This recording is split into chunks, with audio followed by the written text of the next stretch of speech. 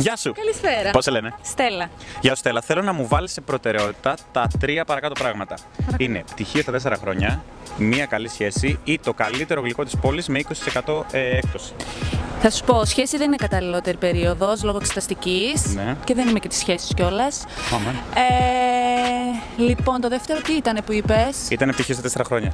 Δεν το έχουμε, έχουμε να το έχουμε ξεπεράσει. Οπότε ένα γλυκό θα ήταν το καταλληλότερο. Με Πολύ έκπτωση, ωραία. Βέβαια. Μ' αρέσει γιατί μπορώ να σε βοηθήσω. Bye.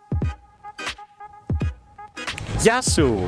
Άντε πάλι, καλησπέρα. Έχω άλλη μία ερώτηση. Γλυκιά ή αλμυρή βάφλα; Αλμυρί, βέβαια. Καλή επιλογή. Πάντως, είτε διαλέξεις αλμυρή είτε γλυκιά, μπορείς να πάρεις 20% έκπτωση στο σπουν. Τα λέμε εκεί. Γεια σου. Καλησπέρα. Ε, σε έχω συναντήσει τόσες φορές, δεν σε έχω ρωτήσει από πού είσαι. Από την Κύπρο. Α, πολύ όμορφο νησί η Κύπρος. Τι πιστεύεις ότι λείπει από την Κύπρο; Είναι όντως πανέμορφο και λείπει ένα τέτοιο μαγαζί με τέτοιες γεύσεις. Μην ανησυχείς, σε καλύπτω εγώ. Coming spoon στην Κύπρο.